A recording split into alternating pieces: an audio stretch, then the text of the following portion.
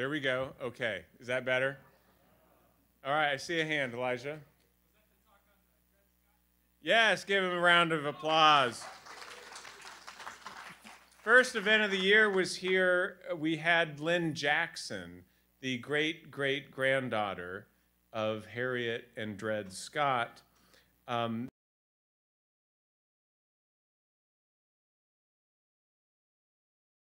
in our troubled times, reconciliation was a very important um, attribute, one that's in short supply today. Many of you will have been here for that event.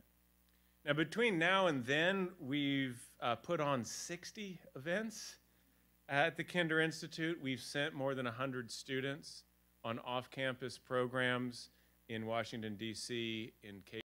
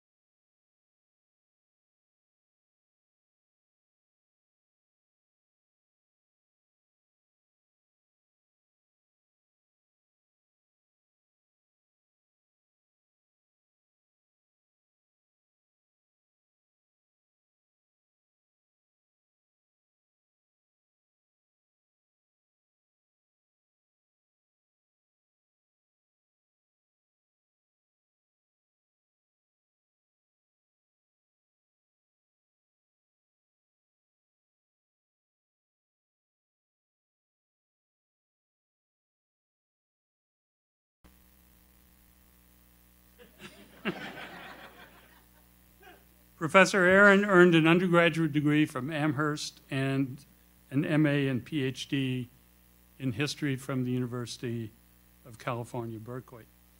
Professor Aron is the author of more articles, review essays, and book chapters than I can count. He is also the author of a number of path-breaking books, including The American West, A Very Short Introduction, How the West Was Lost, The Transformation of Kentucky from Daniel Boone to Henry Clay, and my personal favorite, American Confluence, The Missouri Frontier from Borderland to Border State. He is also the author of the ambitiously titled Worlds Apart, A History of the World, from the beginning of humankind to the present. I mean, what else could you want to know? Professor Aron's most recent book is titled Peace and Friendship, an alternative history of the American West, published last year by Oxford University Press. Distinguished Professor of History Emeritus of the University of New Mexico, Virginia Scharff, has described this book as an exploration of, quote, historical interludes of accommodation, convergence, and harmony among people at odds. I think it's a good summary. Professor Aron's presentation this evening focuses on a central theme of that book. Please welcome Professor Stephen Aron for his lecture, Peace and Friendship, Lessons from the Legacy of Broken Concord.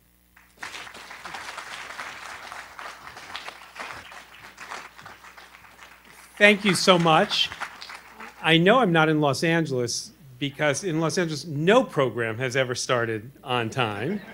In fact, um, if, a, if a program starts within 15 minutes of its scheduled start time, that's already unheard of, in part because people are certainly still stuck in traffic.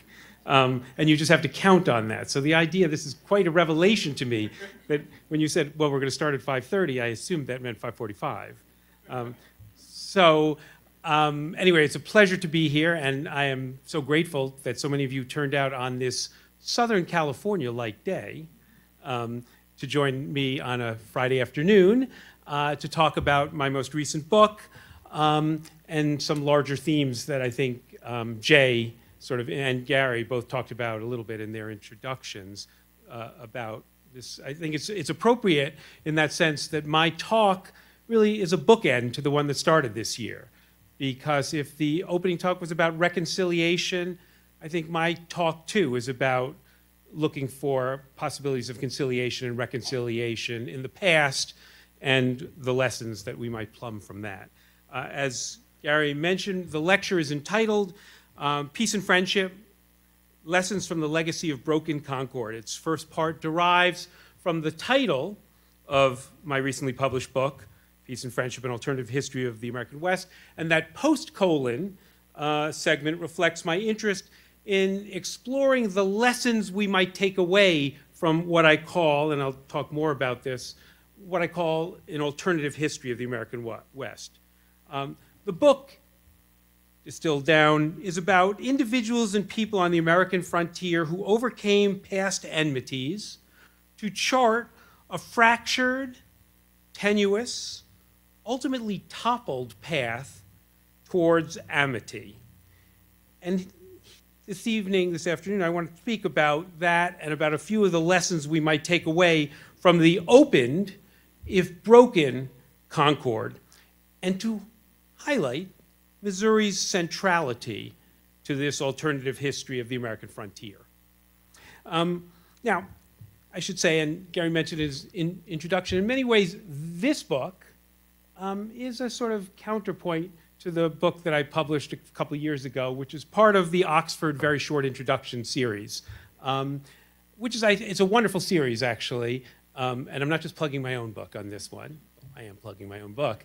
Um, uh, and you see it sold in airport bookstores often, for example, because the, the, the genius of the series is really on hosts of subject to get in 35,000 words, and they really are strict about that 35,000 word limit, to get in 35,000 words something that you can sort of digest, I think on an airplane. So it's 35,000 words at 35,000 feet, um, I often thought, uh, and come away on the other side of your flight um, sort of with a, at least a cocktail party knowledge of, of any number of subjects. Now, I have to say, though, that and this actually gets back to the, to the subject of public history. One of the things you first learn as a public historian, or as anyone who, who sort of seeks to, to work in the public realm, is brevity, which I've shown none of so far, is a, is a really crucial skill. You know, you really have to get your message down to uh, tightly. So in a sense, it was an assignment that it was, I was eager to take on, but I have to confess that the first draft of the book came in at 70,000 words so I went back to my editor at Oxford, who also, as I say, is this, this, series, and there are hundreds and hundreds of titles in this series, and I said, look, my American West is, is particularly broad because I'm not just doing the American West as you know it today. I'm doing, you know, the, all of North America is fitting into this, and I'm starting in pre-colonial, pre-Columbian times, and I'm going all the way to the present. So surely you can give me a few more words. And after all, for example, this title there must be some leftover words from nothing. Um, and she looked at me and said, mm, and she pointed me to this title in the series. and I guess I had to sort of go with the idea that if you can get the meaning of life in 35,000 words, then surely I can do the American West uh, in the same. So, I did get it down to 35,000 words, and, and I like to think of it as what I would call a mainstream, I mean my own interpretation of, but a mainstream history of the American West that really tried to distill and synthesize a generation of recent scholarship for that purpose. Um, the title of the new book, also from Oxford, comes from the inscription on peace medals like this one that emissaries of the United States gifted uh, on American Indian leaders. For nearly a century, um, from the founding of the Republic until after the Civil War, the presenting of these medals was a regular feature of the diplomacy between American officials and their Native American counterparts. Many typically featured on the other side a bust of the reigning president on one side of the medal, and on the other, some version of this peace and friendship inscription, and then those clasping hands. Now, this is going to come as a revelation to anyone. Neither peace nor friendship readily associate with either the mainstream history or the conventional mythology of the American frontier. What would histories of the westward expansion of the United States be without famous battles and infamous massacres? What would Westerns be without their clashes of civilization against savagery and their climactic gunfights.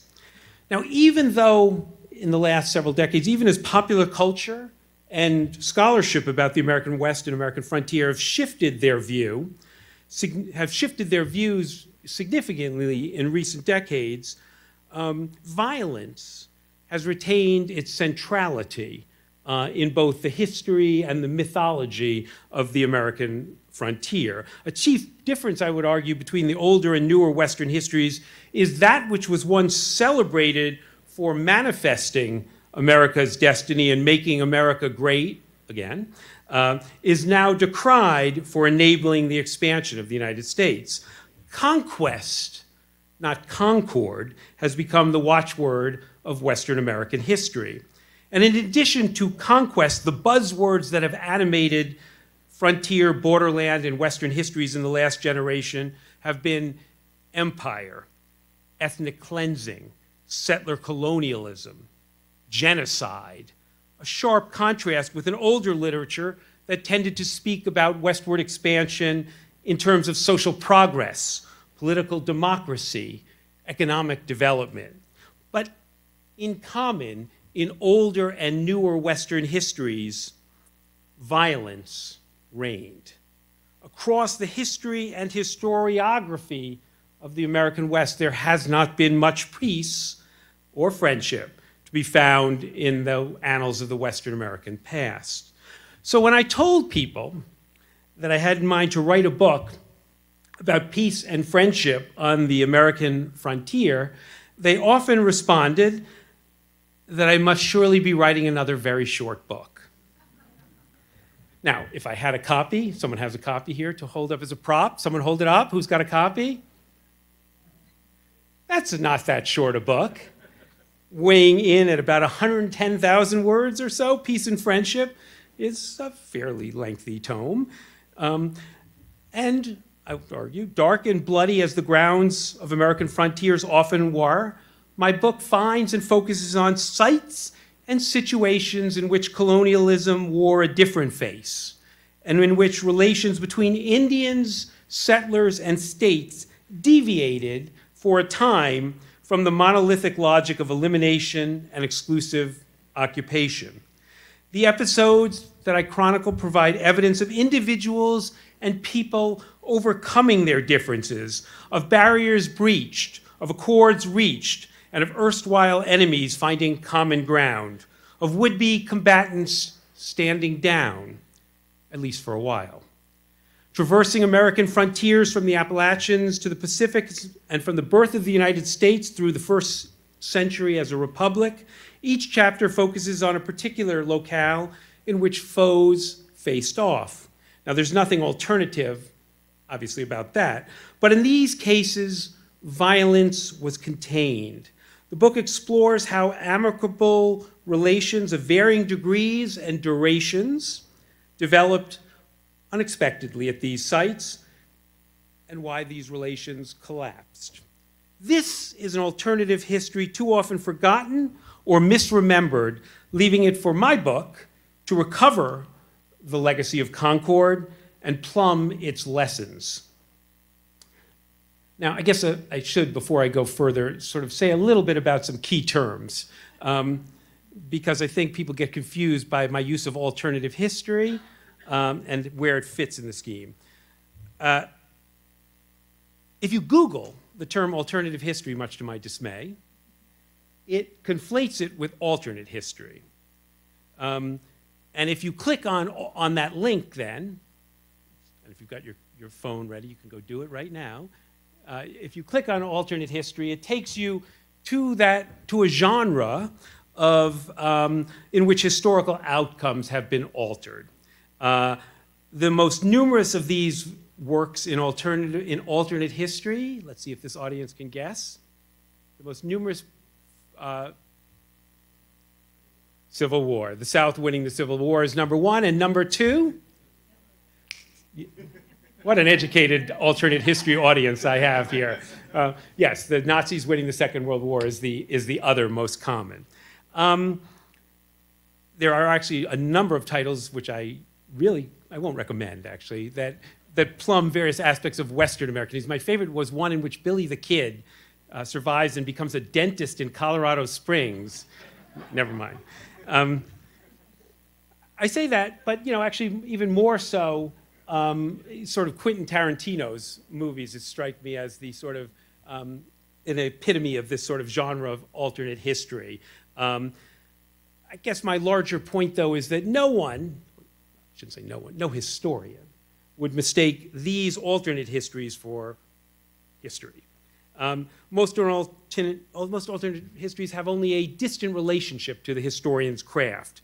Like a Quentin Tarantino film, alternate histories can elegantly, sometimes elegically, uh, evoke a once upon a time and place, uh, but the alterations to what happened um, turn his films and scores of similar kinds of stories into fictions, science fictions, and fantasies. For few historians, including those who study the American frontier, give much credence to these alternate histories. In general, historians sometimes will raise alternate, alternate storylines, but we don't tend to follow those lines. Uh, for my part, to be clear, I am not interested in altering facts, or for that matter, in alternative facts. Although the search engine may conflate alternative and alternate histories, the two adjectives actually have distinct meanings. And for my purposes, the meaning of alternative that I latch onto is existing outside the mainstream. And in that sense, if the VSI, if that very short introduction was my mainstream history, this book is my alternative history, existing outside the mainstream. But I want to be clear, unlike in the genre of alternate history, the, the alternative history, in my book, the alternative history happened. Um, it does not require any what ifs or what might have beens to set the world in motion. Now, to be sure and to be clear, the peace and friendship that happened on American frontiers was often unstable. Local arrangements that entailed or that, that curtailed violence gave way when balances of power and balances of powerlessness tipped. The interventions and arsenals of empires and nation states, though premised on enforcing law and creating order, often disturbed the peace and devastated frontier crossing friendships. Perhaps above all, the sites and situations featured in my book demonstrate the fragility of conciliations and reconciliations and show how susceptible this alternative history is to being forgotten or um, misremembered. Still, the episodes lace together to allow us to better understand when, where, and how people pushed aside their enmities, why these moments occurred yet did not endure, and what we might take away from the legacies of broken concord. Now, the contrast, and those of you who know the literature of Western American history know that the book I'm playing off of the title of, the contrast between the legacies of concord and the legacies of conquest, Patricia Limerick's path-breaking synthesis of the new Western history, the Legacies of Conquest, might seem to set my alternative history entirely apart from the mainstream of settler colonial history. The one emphasizes people dealing with one another, the other has them stealing from one another. The one features fortunate amalgamations, the other forced assimilations. The one glimpses better times, the other exposes trails of bitter tears.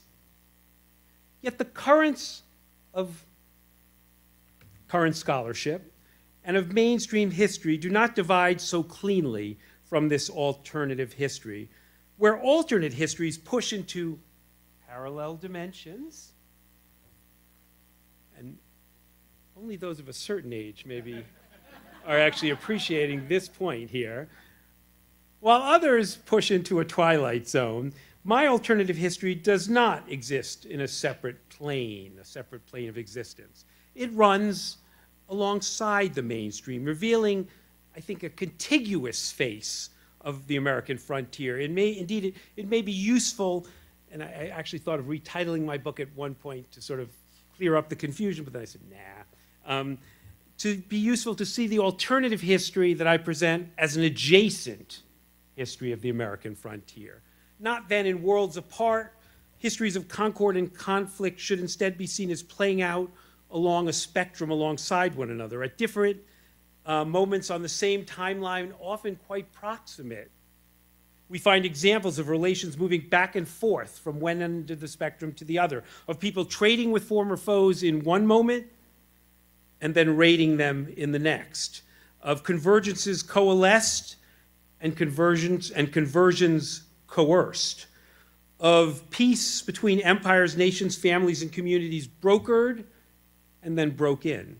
The shift meant that the common ground found was also lost. Accordingly, in the case studies that make up the alternative histories table of contents, accommodations were tenuous. Peaceful coexistences were temporary.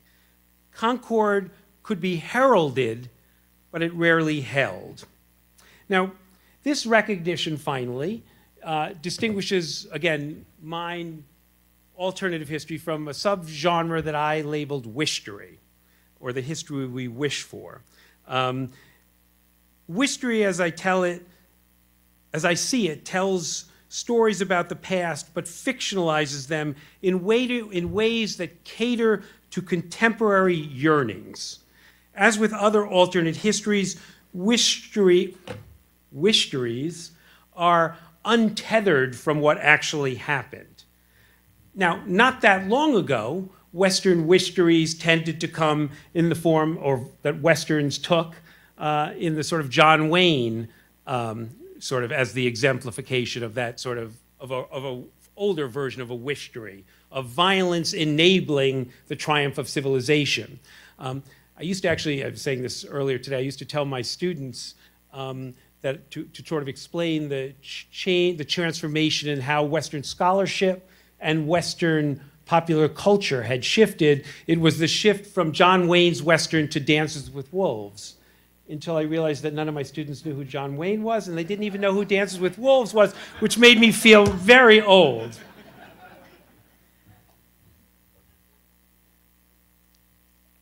These older westerns, though, I think we now understand were wishtories. Their plots and morality plays erased or forgave the messier ethnic and racial strife that shaped the history of the American frontier in the century after the American Revolution, or even more specifically in the case of most Westerns, in the decades after the American Civil War. Only in more recent decades have Western histories written in what Westerns wrote out. Yet our wishtories have shifted too. And this point was brought home to me, I should say, um, when I started quizzing my students 30 years ago, when I started teaching at Princeton, um, I would ask my students, um, you know, name the first Indian figures that come to your mind. And almost always it was sort of Sitting Bull, Crazy Horse, Geronimo, Tecumseh. Um, by contrast, in more recent decades, and in some ways Disney's Pocahontas was emblematic in the shift, um, the, the, the, the two American Indian figures that first emerged were Pocahontas and Sacagawea, you know, which is sort of a fascinating shift in terms of what it tells us, not so much about American Indian history or frontier history, but about ourselves and about, I would argue, about our own wishtories, um, that our own yearning for frontier origin stories that put us on a sort of, that showcase a kinder, gentler frontier origin story for us to fasten on to. Um, in any case, um, wishtories in general, older and newer, in the case of the Western, tend to sort of at least give the pretense of happily ever after endings. And again, the alternative history of what actually happened, whether it was Pocahontas or Sacagawea or any of the stories that I tell in more depth in the book, um, it seemed to me sort of, again, betray the idea of the once upon a time leading to the happily ever after. Um, that these are uh, sort of harder stories. Nonetheless, even though, as I say, I draw a distinction between wishtory and my alternative history, I, I do think that um, wishtory is important because it's important to think about the ways in which the sites and stories that I focus on and others have been remembered or misremembered or forgotten or turned into uh, some kind of fantasies for ourselves. So that uh, is also part of it. And they tell us a lot, I would argue, about our shifting hopes and dreams. Nonetheless, and here I'll sort of move quickly here, the episodes featured in my book um, do not unseat the mainstream Western history built on conflict and conquest. Nor, as I said, do they sit apart from it. Conquest and colonialism shaped the history of the sites uh, that I focus on, as they did the rest of the, what is the west of the United States. Uh, but, I argue, in these places, for a time, geopolitical and intercultural currents constrained the exclusive occupation of these places by Americans under the uncontested rule of the United States. As I said, for varying durations, some better remembered, some mostly misremembered, and some almost entirely erased, those alternative relations presented an adjacent face of the American frontier. I don't have time to run through and summarize, you have to read the book for that, um, the lessons from each chapter, but let me try to lay out a couple of larger themes and key points, at least to um, bring these forward and to emphasize the centrality of Missouri in this story, in this alternative history. Uh, as I mentioned a moment ago, one lesson is to upend the oft repeated claim that violence was vanquished when the forces of law and order, as represented by states, nations, and empires, gained sway over frontiers. Maybe in the long run, that was true. But more immediately, in several of my cases, the intervention of powerful and well armed agents of state order undid local arrangements and local limitations that had curbed excess violence.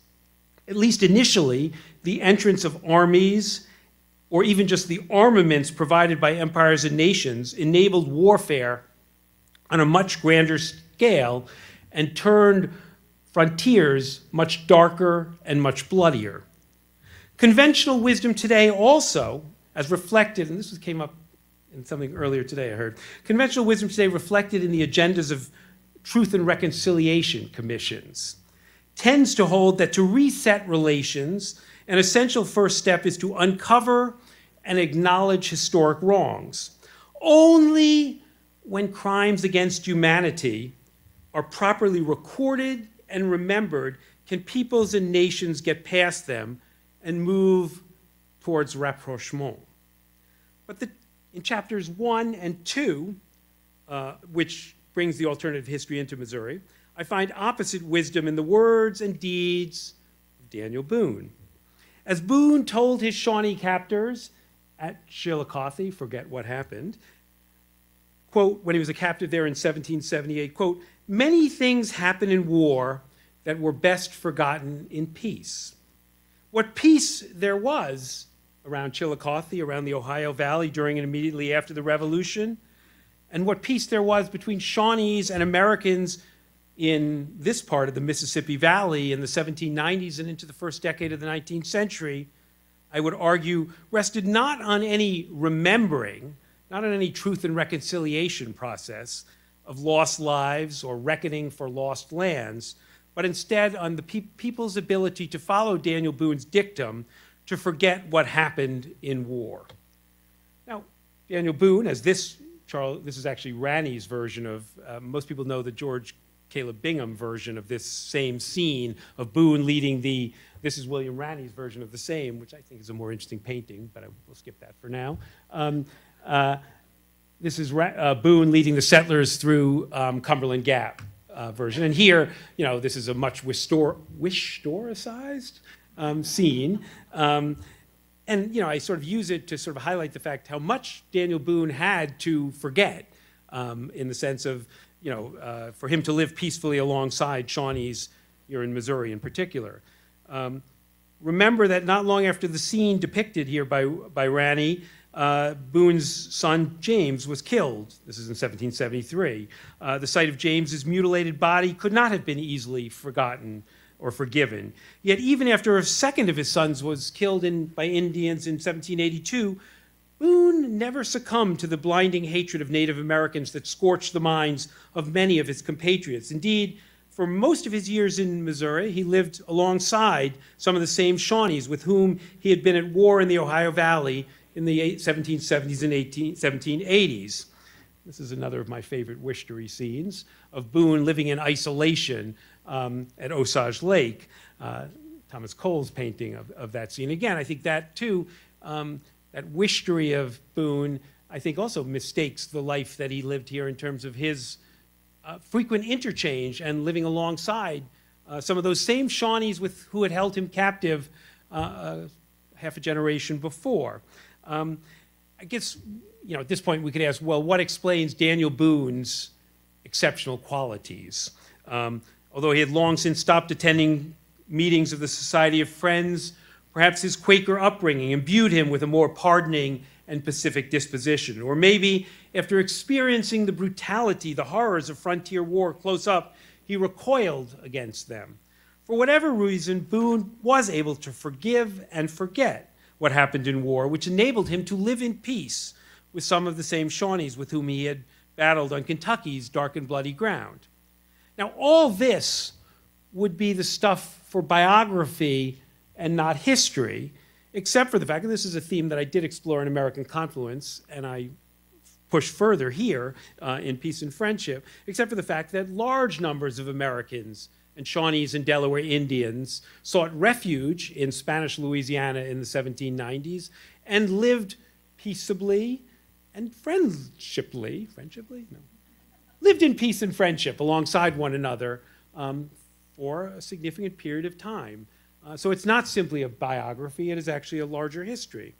Now, I would say before we dismantle our truth and reconciliation apparatus, we should remember that peace and friendship required more than letting bygones be bygones. For recent enemies to live serenely alongside one another as they did around Apple Creek in southeastern Missouri and other parts of what is now eastern Missouri in the 1790s into the 1800s, first decade of the 1800s, a host of other factors had to fall into place. And this is one of the larger themes I trace out. The, those factors would include the presence of a shared enemy, that's often crucial in these situations, a role that the Osage played in the case of the Shawnees and Americans in Missouri. Add to this the weakness of the colonial regime. Uh, it's not the strength of the colonial regime that brings peace and friendship or law and order, it's the weakness that I would argue keeps the peace from being disturbed. Mix in the limited and balanced numbers between Shawnees and Americans in the, into the early 1800s. Put these factors together, and you have a, a and you have a, a formula for old enemies finding common ground. Take them away, as happened here after the War of 1812, and those kind of intercultural friendships faded pretty quickly. Sandwiched between the chapters in the um, in the book about the fall, rise and fall of peace and friendship here in Missouri is one on the Lewis and Clark expedition, beginning with their experiences in Missouri and then focusing in particular on Fort Clatsop, the western terminus of the Lewis and Clark expedition. And I focused on that place, not because I think actually it offered the best example of peace and friendship between the members of the Corps of Discovery and Indian peoples, but again, rather because that's where the most exuberant wish stories about the expedition were told during the bicentennial. Uh, the most famous incidents being um, the decision of where to locate the fort. Uh, uh, whether it would be on the so south bank or north bank of the Columbia River um, for their winter fort in, in 1805, 1806. And the fact that they allowed York, Clark's African American slave, and Sacagawea, the Indian wife of Charbonneau, um, to have a vote has launched a thousand historical uh, dreams in the bicentennial commemoration in particular. You know, this was the, and I remember in the Ken Burns film of the, the documentary that he did, I think it's Dayton Duncan, teary eyed, sort of seeing this as the glimpse of the great democratic possibilities. Now, closer examination of what actually happened during the winter at Fort Clatsop really demolishes some of those sort of um, kumbaya stories that we tell about the Lewis and Clark expedition. Nonetheless, I think there are lessons about how, even though Lewis and Clark were really, especially during the Fort Clatsop winter, not particularly good guests and terrible hosts, they did manage with the Clatsops around them to sort of do enough to keep the peace. And I go into some detail about how and why that worked and how it might have fallen apart even then. But you'll have to read the book to learn more about that one. Um, I then turned to the Oregon Trail, um, uh, and even uh, and sort of again thinking about Missouri as the jumping off point, but looking in particular at Chimney Rock as the site along the Oregon Trail, convenient for me. Now, you know, again, the most familiar image that we have from generations of Westerns is of the circled wagon, the circled wagons, with Indians for no apparent reason riding around in circles around the circled wagons. Um, and obviously, thousands of motion pictures have featured that scene, and it's become sort of the staple, even though, at least in the 1840s and into the early 1850s, we have almost no examples of scenes like this. Um, yeah, sometimes people circled their wagons in order to keep their livestock in so they wouldn't have to chase them around, but we have almost no examples of these kind of conflicts, at least through the 1840s uh, and into the early 1850s, really on the Overland Trail. Um, more recently, here again, I'll test my audience, and this one's for the younger folk in the room. Um, how many of you have played the Oregon Trail game? Okay, look, that's a good number. What I actually did is I went back and looked at the original editions of the Oregon Trail game.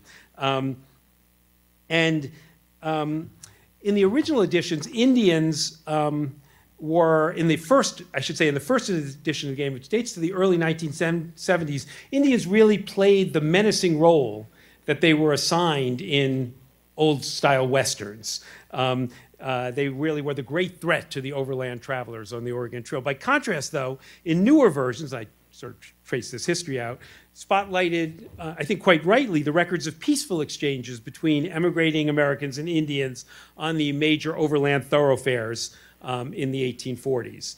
Uh, millions of players Let's see if you did learn this lesson. Millions of players learned how Indians assisted overland travelers during the 1840s and 50s and, and can assist them in the game's journey as well. So you don't all have to die of cholera. As with other sites and situations in this book, we can identify factors that built up and broke down alternative relations on the overland trail. From the start of migrations across the plains in the 1840s, tensions between Americans and Indians abounded. But as long as caravans were just passing through, as long as their numbers were limited, and as long as the United States military was mostly absent, Americans and Indians put aside their mistrusts to trade with one another. Stresses heightened, as did conflicts, after the discovery of gold in California, which multiplied the numbers of Americans on the trail and increased the presence of the United States military on the plains. The final breakdown of peaceful intercourse really awaited the aftermath of the Civil War, which is when Americans not only came in great numbers, and the railroad came obviously too, but Americans started to settle in significant numbers on the plains as well. Um, it's also when the United States unleashed its army and equally deadly its bureaucracy, both with lethal con consequences for Plains Indian peoples. The final chapter of my book is, I think, one that people find the most unexpected, and this is why I'm going to get a place in your, in your Santa Fe Trail um, uh, public project coming up. Um, Dodge City makes an unlikely culminating chapter to this alternative history. Its origins, too, trace back to Missouri, first via the Santa Fe Trail and then the rail lines that turned the town briefly into the, cat, the queen of cow towns. During its heyday, Dodge City became notorious for its vice and violence. Its name stands in still for, for anarchic places with red hot hatreds stained by the blood of too many dead. How many of you have played the game Red Dead Redemption, by the way? I'm really pandering to the crowd here, but, uh, but I'll explain the connection to Dodge City later if you ask questions. Uh, in any case, closer and comparative perspective offers Dodge City a measure of redemption. Racial animosities, at least as directed at African Americans, were far less pronounced in Dodge City and on the cattle tribes to it than they were in other parts of the American West, or for that matter, across the United States. In Dodge and on the trail, blacks lived better, and black lives mattered more than in the southern states from which most cowboys hailed. In most of the years that Dodge City reigned as a countout, it was also far less deadly than several other places in the post Civil War American West, including ones with similar demographic profiles. How was that possible? not least because, not evenly, but um, that Dodge City did disarm people, and they also sort of paid police off not to kill people. Um, that is, the, the, the, police were incentivized to, uh, to, to sort of knock people out rather than shoot them because you only got paid by, you got paid by arresting people, not by killing them. Uh, I'm not sure these lessons are one that we all take away. Um, and to be fair, Dodge City doesn't offer a perfect laboratory, nor does history in general. In fact, alas, and I'll conclude here, that's the case for the instructions from across um, my table of contents, from across my alternative history. Much as we might wish for a, for a historical how to guide for how we can overcome our differences, the past is not so prescriptive. Lacking the freedom of alternate history, we can't swap out one fact for another or switch off one factor. Nor can we wave a wand to will different outcomes or isolate one true cause. The episodes chronicled and dissected in Peace and Friendship don't yield lessons that can be readily applied anywhere and any time. There is much we can learn from examples of unstable common ground, but the directions from my alternative history can be controversial, contradictory, and contingent. Nowhere in my alternative history can we find a record of continuous, unbroken concord. Even as foes could forget, or at least put aside past enmities, differences were not permanently overcome. The legacy of broken concord on American frontiers from the Ohio Valley to the Pacific coast and through the first century of the history of the United States underscores instead how ephemeral were understandings between peoples and across cultures. No doubt the collapses frustrate those of us seeking a sure, straight path to lasting harmony. Seeing the demise of alternate, alternative relations, though, only as dead ends is, in my view, too dark a view. From this alternative history, we should not shortchange the existence and, in some cases, the persistence of hospitable and inclusive cohabitations, even if those did give way. So, too, we should remember the imperfect arrangements that forestalled violence for a while. Commemorating compromises that were compromised means accepting a legacy of concord that is not all we might wish for. But better a history of broken concord than a history of no concord. And better to continue to seek out places and periods where people once, and not just once upon a time, overcame differences. These are lessons that seem especially important now. Today, we are frequently told that the United States is on the verge of a new civil war, dividing not north and south or east and west, but red and blue. Our differences are framed as irreconcilable and existential. So, too, it might have seemed to Daniel Boone and fellow Americans and Shawnees when they first came to Missouri. But they showed us that that need not be the case. Let us take hope in that, for there lies our path to peace and friendship. Thank you.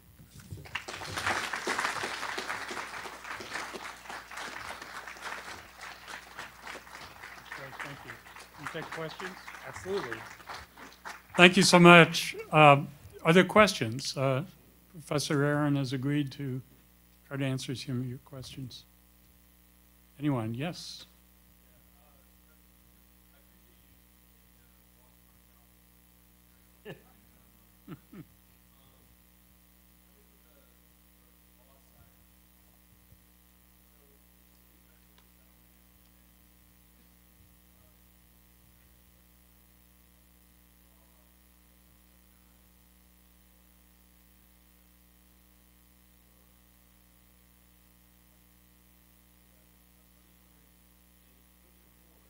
and coming together, where did the law fit in? And then was it mutual acceptance of what tribes had as their version of the law, and then what white settlers had as their version of the law, and then, and then how did they coexist? So I think that's actually a subject that is deserving of a book unto itself. Um, and actually, some have written that book. I think, um, in some ways, Nicole Eustace's book that just won the Pulitzer, I think it won the Pulitzer Prize or Bancroft Prize, one of those, it sort of takes on that topic. Alan Taylor's written about it. That is, in some cases, it's a question of whose law and whose justice gets to prevail. That is often what is precisely at issue in these kind of frontier contests that in those cases where, you know, American courts, for example, are sort of in charge and are able to enforce their law, a certain kind of justice tends to prevail. There are alternative justice systems in place, especially among various Indian peoples, tied often to traditions of covering the dead, of, various other kinds of, of remuneration, uh, as opposed to, you know, uh, punishing the, uh, you know, bodily punishment or, or capital punishment of, of offenders. There are all sorts of alternative schemes. And I think oftentimes it's precisely the question of which justice system is, is allowed to prevail that is often determining both the character of pieces of peace and friendship, but also the balance of power in frontier relations. The larger point that I was trying to make, though, in, in this talk, and that I do sort of talk about in the book at some length, is I think we have a, a notion from Westerns, though, that it is, you know, when, when the sheriff, white, when the white-hatted sheriff arrives and puts down, whether it's, you know, uh, bad, you know, uh, lawlessness, or whether it's the cavalry coming in and slaying the Indians, in one way or another, it is the forces of law and order that are seen as bringing peace and friendship. And I guess I'm really trying to counter that view, that uh, at least in these frontier situations um, where the contests of power are very much still at stake, um, that's not how it works. And indeed, as I said, I think there are oftentimes local arrangements that, you know, are hardly peaceful or hardly friendly, but there's violence is capped and contained in part simply by the resources people have or don't have to fight one another, and the necessity, in some ways, because of the lack of resources, to find some ways of curbing violence, containing violence, restraining it, keeping it in check. But when armies arrive, when well-equipped armies arrive, they, are, they ratchet up the level of violence that's possible. And I think in that sense, I'm trying to, I'm not sure what the full implications of this argument actually are from a present day standpoint, um, but they certainly are disruptive of those local arrangements in ways that tend to escalate considerably the bloodiness and body count that you see in frontier warfare. So it's a partial answer to your question. I, I, I- think that now if you're looking for the, the common way to apply it to today, it's almost like the, you know, if you're in control, then your belief is right. So, and we see the weaponization of the law at the most fundamental levels. So maybe it's something to that extent. I, I should say a couple of things here about um, what the book is and what it isn't. Um, you know, one, I, um, you know, as I said, I'm, I'm wary about trying to sort of make sort of general lessons that can be applied anywhere at any time. Part of the inspiration for the book was when I was chair of the UCLA History Department, I, this is sort of akin to the Kinder Institute, I secured a major gift to create a Center for History and Policy. Uh, and the donor was really quite interested in seeing the ways in which history could be prescriptive, that the lessons of history could um, uh, sort of be turned in these directions. And I'm not sure the book that I've ultimately written sort of does that, because as I said, I think the lessons tend to sort of not be always that clear cut, and sometimes contradictory and contingent, con you know, controversial too. Um, the other thing I should say, I should admit, is when I started this book, um, it was actually going to go to, it was going to go to the present. Um, and I still have sort of various research and chapters on various chapters that we're going to take the story from the 1880s, 1890s to the present. Various places and sites I was looking at for similar stories in the 20th century. When I decided to take the position at the Autry, I realized that my time to write said book was not going to exist.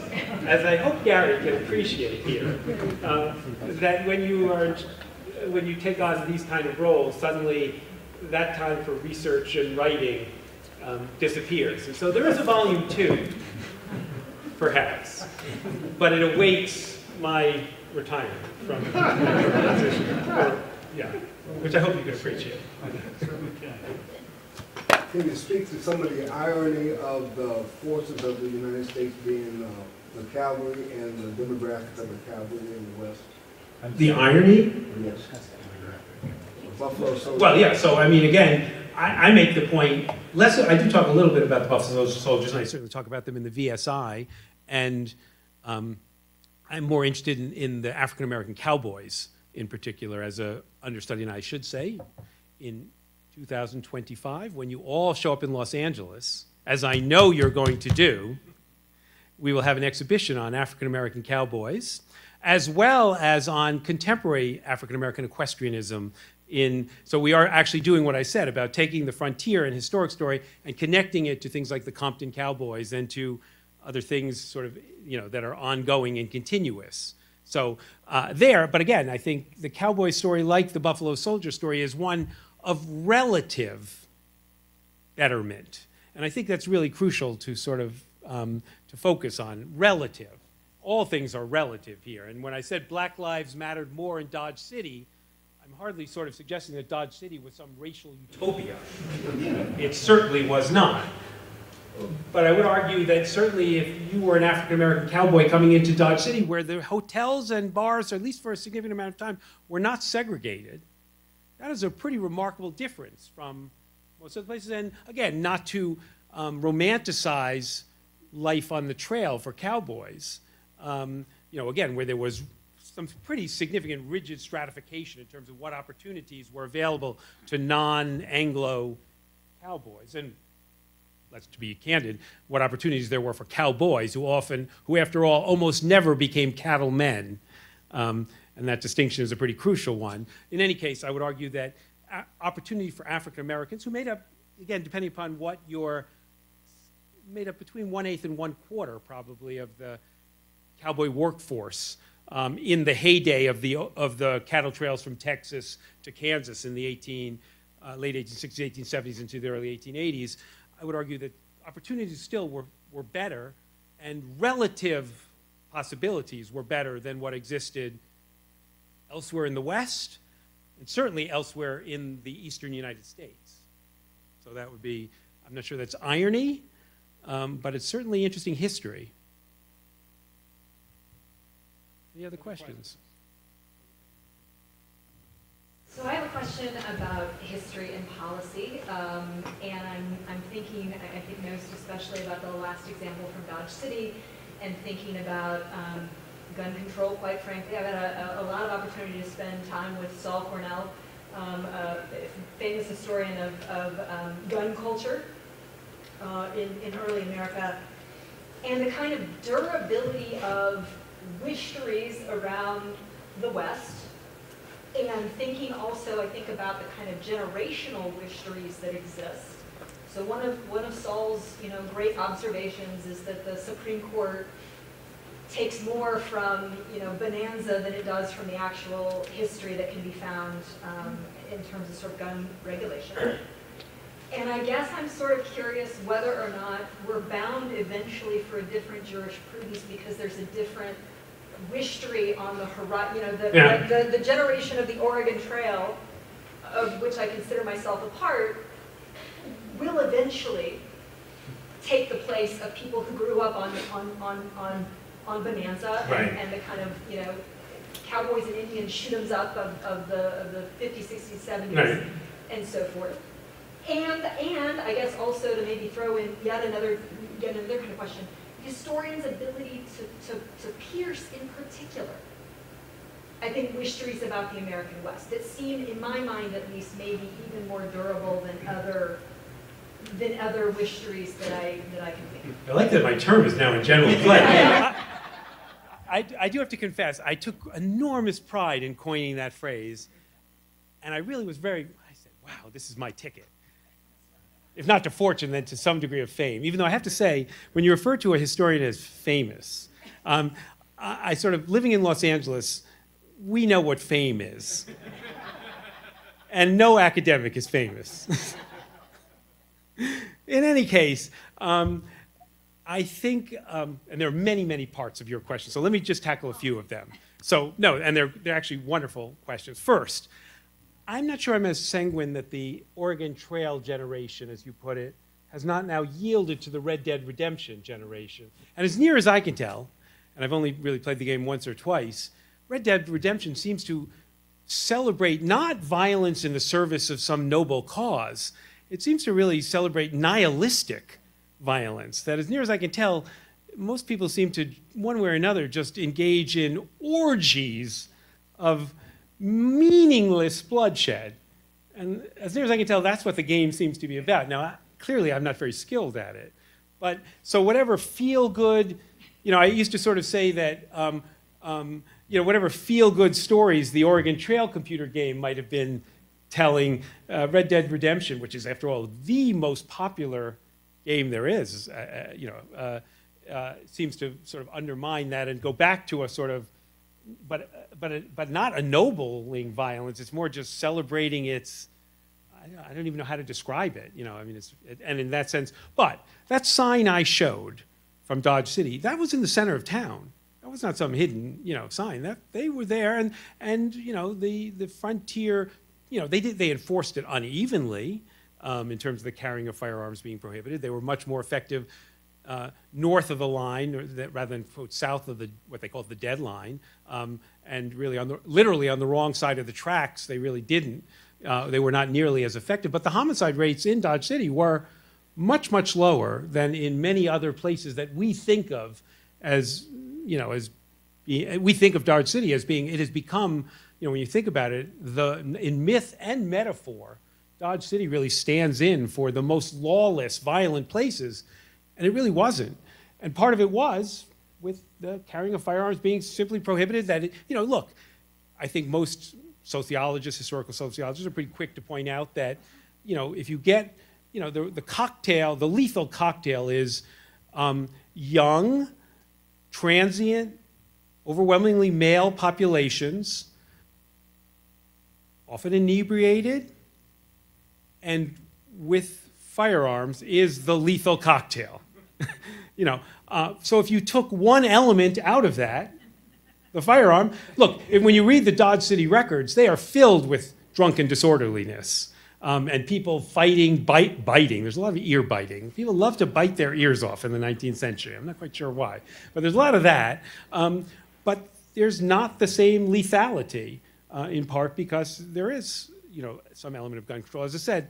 Um, and does that, yeah, as you say, that is something that needs to be, I think, introduced in. What I find fascinating, and again, you're the, you're the expert on this matter, so what I find fascinating, Anne, is that um, no one in any of those Dodge City cases where cowboys get disarmed I find no record of anyone ever invoking Second Amendment rights. There's nobody saying that they have the right to open carry or conceal carry or whatever on the basis of a Second Amendment claim. That is obviously a trail that is much later, and that is then historicized into a sort of 19th century setting in ways that was not the case, at least as near as I can tell. So, the narrative that you're unfolding, where you are based in the Autry Center, compared to the town of Gene Autry, Oklahoma, where the Gene Autry Museum is, which is dramatized, you know, Hollywood history. Well, I like to think that when Gene and Jackie Autry founded the museum, their goal was to tell the real history of the American West um, alongside and entwined with the history of the American West. And I like to think that what I've been talking about for the last 45 minutes or so fulfills their vision.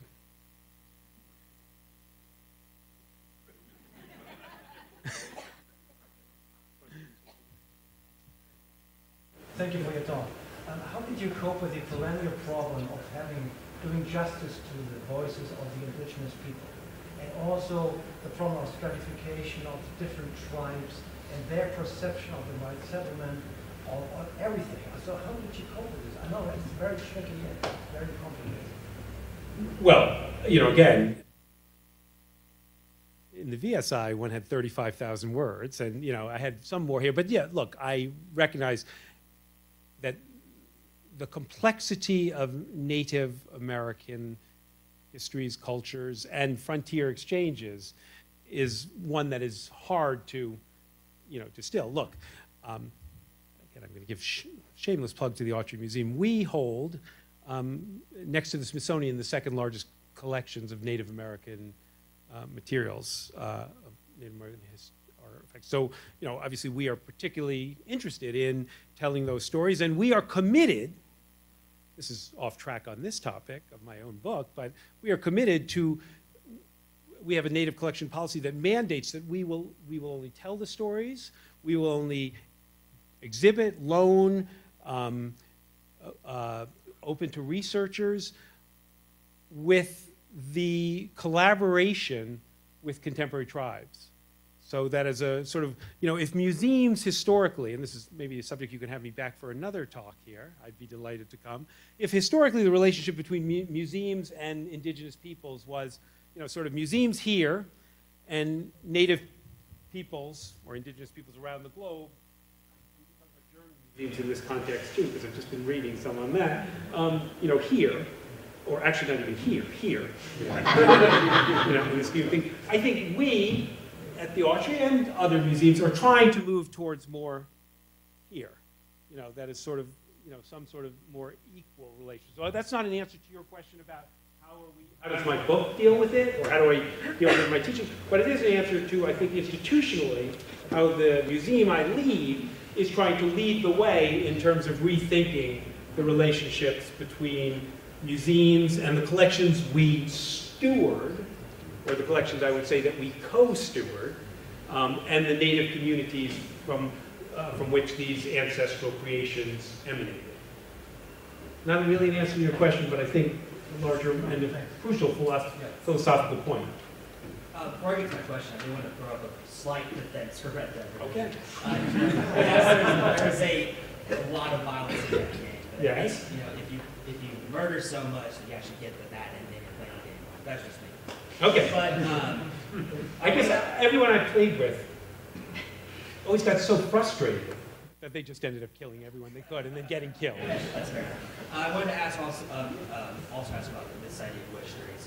I really liked how you, you know, kind of phrased. Oh, wait, let me just finish that point, because I was, sorry, I got, you had a lot of questions, so I, I barely tackled any of them yet. But wishtory, I was so proud of myself for coining that phrase, and then I discovered that Sears had used it in an advertisement in 2009 or something. And I, I was just so deflated. But, but actually, the advertisement starred, um, I think it was like Vanessa Hudgens, who was like a Disney star. And I felt like there was at least some justice in that, because Disney is probably the largest purveyor of wishtories of, of any, uh, you know, of any popular cultural entity. So I guess it fit in some roundabout scheme. Back to wishtory. Anyway, sorry, go ahead. Um, you know, you talked about how, you know, sometimes wishtory is not so much necessarily like intentionally getting the details wrong, but more just a reflection of our, uh, the person who's telling the wishtory, their own reflections of what's Right. happening in the, in the world they currently inhabit. Um, this might be an example to get outside your wheelhouse and one on the other side of the world technically. There's been a lot of controversy in the last kind of week or so of a Netflix show, making a decision to cast Cleopatra as black. And I know my colleague Jeffrey Stevens probably has a lot more, uh, a lot of things to talk about with that. But, um, a lot of ideas, but, um, you know, the production team make the argument that this is, you know, combating an earlier wishtory, or Liz Taylor kind of Cleopatra that dominates a lot of the Right. culture. There's the other side that would argue probably replacing one wishtory with another. Um, so what, I don't, what do you make of, of that recent controversy, considering you kind of dealt so much into this on the American side? Well, I mean, again, the ones that I've, I mean, I'm, question, because again, I don't by any means suggest that this kind of tendency towards wishtory is somehow unique to the United States or to, you know, I mean, so the fact that in other places there are similar currents that reframe historical sagas to sort of, in one way or another, kind of both more accurately capture certain demographic and historical realities, but also to better speak to contemporary yearnings, comes as no surprise to me. I don't think, I think again, if we went around the room, um, people could think of all sorts of other recent examples that fit this profile of ways in which, and as I said, what to me is fascinating about wishtories, get ready for another shameless plug for the Autry Museum. As we will tell in a gallery opening this June, imagined Wests, plural, um, you know, is the way in which they reflect our shifting hopes and dreams that we fasten onto. Um, and the fact that, for example, we had a former gallery that was once basically a history of the Western genre, as Gene Autry might have known it, uh, that has now morphed into a new gallery that is much more pluralistic, diverse, imagines the West from lots of different points of view, allows Indian peoples and non-Anglo peoples sort of to their full telling, is again, I suppose, also, you know, wishtories aren't bad necessarily. I think, but we just need to recognize them for what they are, too, I think. Um, And not mistake them for, you know, somehow getting history right. We're kind of stuck with the term West. Oof.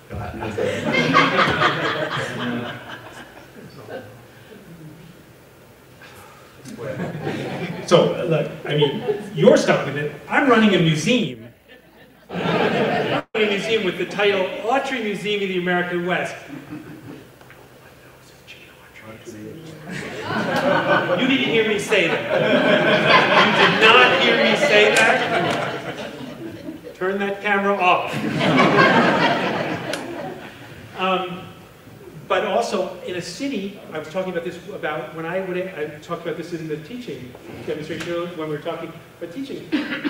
You know, for me, I my students at UCLA when I would ask them, "Do you think of yourselves as Westerners?" Or where is the American? What is the American West? What does it connote? Where is the American West? None of them thought they were Westerners. You know, they live in Los Angeles. That's the Westest West. That's where the West was invented, at least from a certain vantage point. Um, it's where I would argue that the West, the things that make the West the West play out only more so. That what happens in Los Angeles doesn't stay in Los Angeles. It prefigures what happens elsewhere in the West.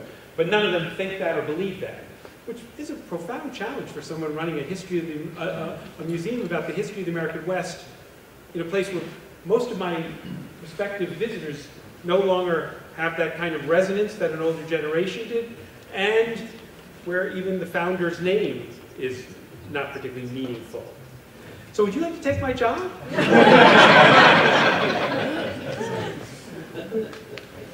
We have time for maybe one more question. There you go. Uh, Excellent talk, and I look forward to reading your book. I'm struck by the overall framing of your work regarding West and empire and conquest. It seems that what you're looking for and what you found in this alternative history of the West requires empire being weak and not thorough and laws being less applicable uh, if they're coming from a national or centralized state uh, place or if the borderlands isn't so um, militarized and locked down. Does this have any resonance? I mean, the city you're at is the city of SWAT, right? That invents militarized policing for the 21st century in ways that no other city quite could do. Does your story, as you see it, as you were hoping to write the part two, maybe as a teaser, promise some alternatives that get around this problem?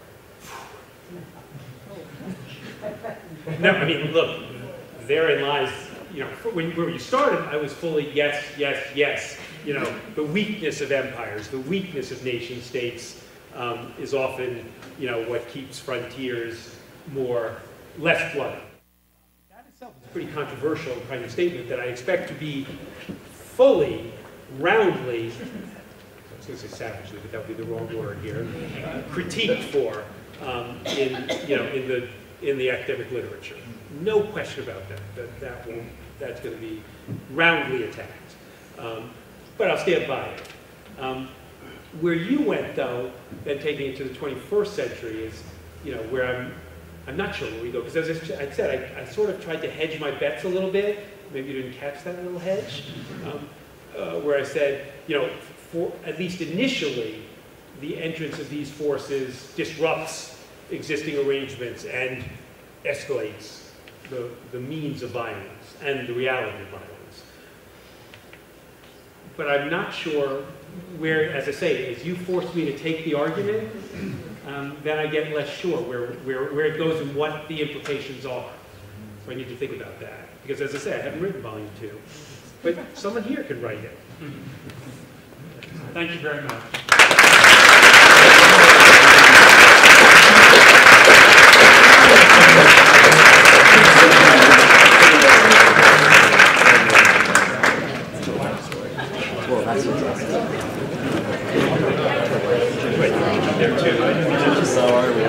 No, no, no.